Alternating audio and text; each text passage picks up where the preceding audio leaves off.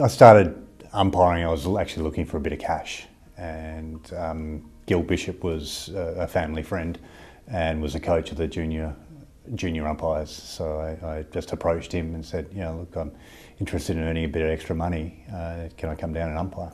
So started umpiring in the North Suburban Junior Football League, which is part of West Perth now, I think. So yeah, so the first couple of years I was still playing, so I was umpiring uh, modified rules and uh, playing in the afternoon, and then when I stopped playing, when I was 16, I think I uh, just started umpiring open open rules, 13s, 14s, and uh, sort of went through there, and then got an invite to join. Um, I think it might have been a talent squad. It was called back then, about '95. Came down as a field umpire and did two Colts games in '96. Yep. Um, and then got delisted. I went and umpired amateurs. Yep. Uh, Mike Ball was a coach down at amateurs. Uh, so that got my field umpiring back on track. And then came down to and, and umpired two more years as a field umpire uh, and did Colts football for 98 and 99. Happened. Yeah, so uh, I got delisted at the end of 99 as a field umpire. Um, and then it was actually Kerry Hendry, uh, so Rob Hendry's wife, um, said, well, look, don't you get Dale down and get him goal umpiring?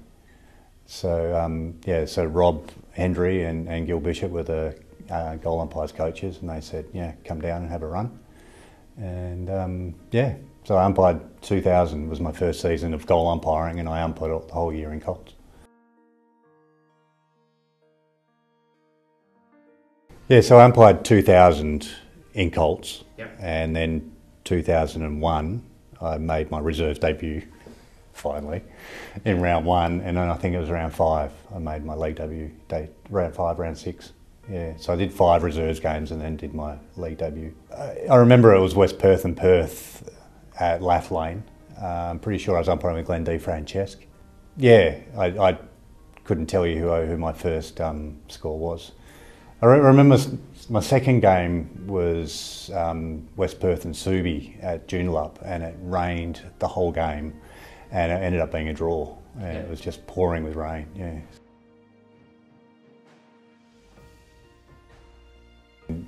Because I knew there were two spaces available on the AFL panel in 2006, after Wayne Hendry and Cos Martino retired. Um, and there were the only other, basically the criteria to um, get onto the AFL panel was to have umpired a WAFL Grand Final.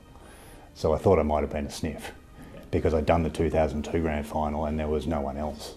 So yeah, I was sort of optimistic, but uh, still wasn't quite sure. Yeah, there's the one game that really sticks out. I don't know what year it was, um, but it was Fremantle and Adelaide, and I score. You know, I remember scores being level and um, Luke McPharlin kicked, snapping one out of a pack, and it hitting the post. And I remember the crowd going up, and it's like, but it was a point. And then yeah, they they ended up winning by a point. Um, that one certainly stands out. The other one, it was uh, West Coast and North Melbourne. Yeah. Um, when yeah, Naitanui I yeah, Naitanui took the big screamer, and then yeah, after the siren, he kicked kicked kicked the goal. Yeah, and that one certainly stands out. Um, Um, I, th- I think it was Shane Edwards may have had a kick from the pocket, you know, on the boundary line, you know, probably 30 or 40 metres out. And then um, Tyrone Vickery mm, tried to get his foot to the ball, and I think he may have done. And I sort of, and I was straddling up against the post and had nowhere to go with it. And the ball hit me just right in the middle of the, the thighs and then dropped on the line. And, um, you know, standing there because the ball didn't move, it was dropped on the line. And um, Stephen Hill basically carried the ball across the line. That's when I signalled touch ball. Um, so yeah, the rest of that season and the couple of seasons afterwards, it was you know trying to go for the alternate straddle, uh, and I think the the laws subsequently been changed now. That you basically follow the trajectory of the ball, and you know so that ball would have actually hit the post. Congratulations on your induction into the WANFLUA Hall of Fame. It's an incredible achievement, something you can be really proud of. You've umpired 123 AFL games, 288 senior games, which included two WAFL Grand Finals, one state game, and you were a Carter medalist as well for Umpire of the Year. But I've managed to source some other statistics from your AFL games, which may or may not be interesting. So you umpired Fremantle 70 times with a 67% win percentage, and West Coast 62 times with a 65% win percentage. You umpired Melbourne Demons seven times, and they lost all seven with an average losing margin of over 60 points. You umpired your Richmond, trusty Richmond Tigers um, 10 times, but they only managed three wins. So you probably helped consolidate their, their ninth position on the ladder for a couple of years there, mate. And even though you're on the list for 10 or 11 years, um, you went nearly seven years without umpiring St Kilda. You had 15 games decided by less than a goal and four games decided by more than 100 points. Your average margin was 39.8. You had a margin of 22 points five times, and your average crowd was 35,000.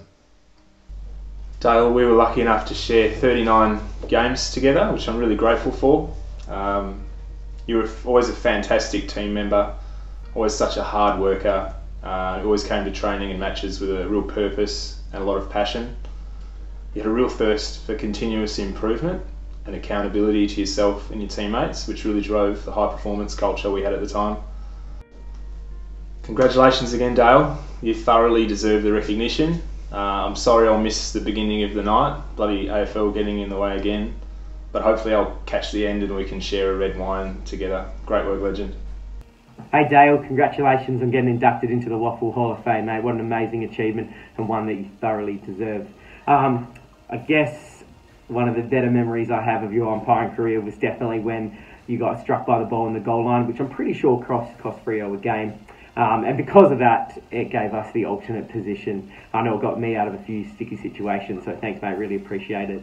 Um, but seriously, well done on getting inducted. Um, thoroughly deserved. Couldn't have happened to a better bloke. Take it easy, mate. Enjoy your night.